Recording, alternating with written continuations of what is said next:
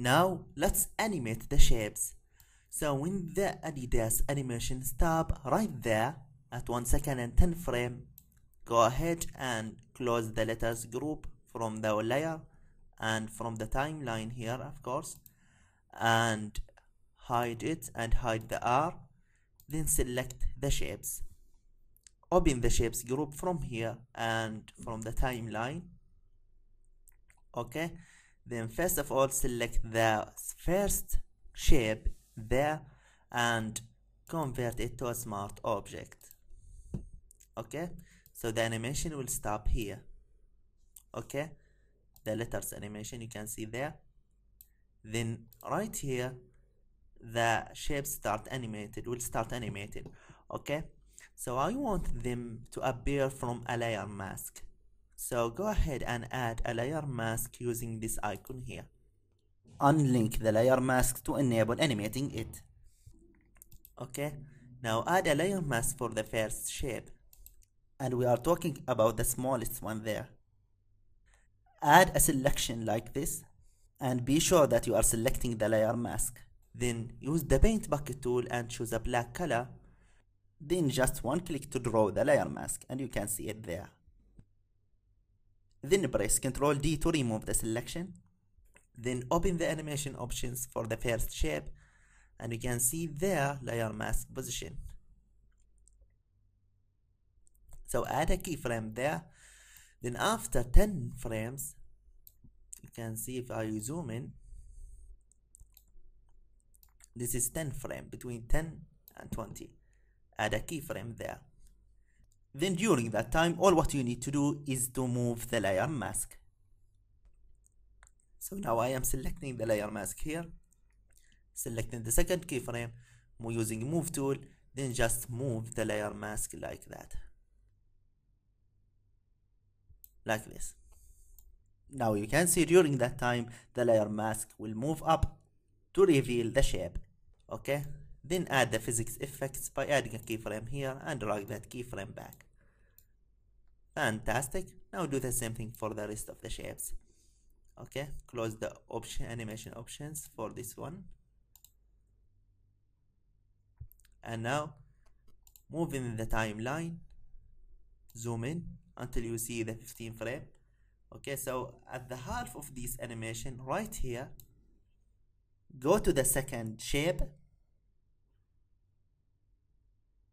and actually we don't need to convert it to a smart object because we need only to animate the layer mask. So there is no need.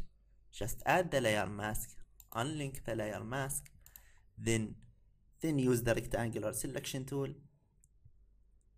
Select that area then add a layer mask like that. Control D to remove the selection. Open the animation options for the second layer. You can see there the layer mask position keyframe. Okay so you can see at the half of this animation right there add a layer mask keyframe position. Then after 10 frames add another one. Okay? Use move tool at the second keyframe and just remove the layer mask like that. Okay? Add a keyframe here then drag that keyframe back to add the physics effects. Then again at the half of this animation go to the third shape add a layer mask unlink the layer mask. Now we are talking to the add, about the third one there okay?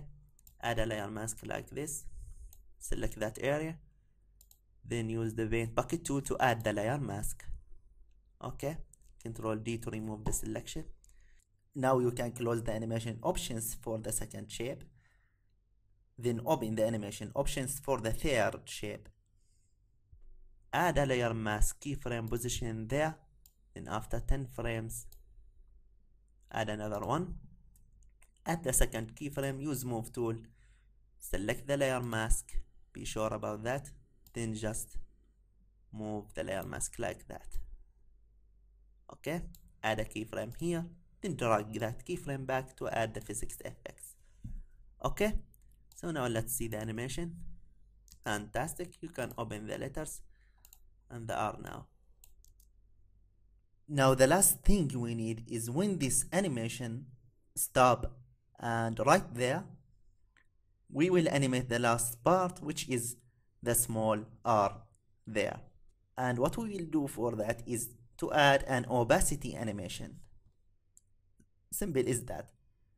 So go ahead and close the shapes group then go to the R layer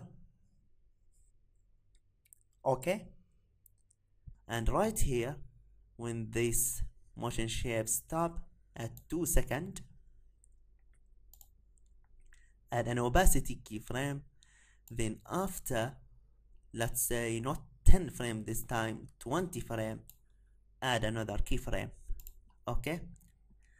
Then at the first keyframe make the opacity 0% so by default the second keyframe will be 100% and by doing that we will make the letter appear fantastic. And of course we don't need to add the physics effects for this one. Just like that. Very good. By doing this we almost finish all the animation. We just need to add two more simple animation I believe and we will finish. So thank you for watching this and see you in the next lecture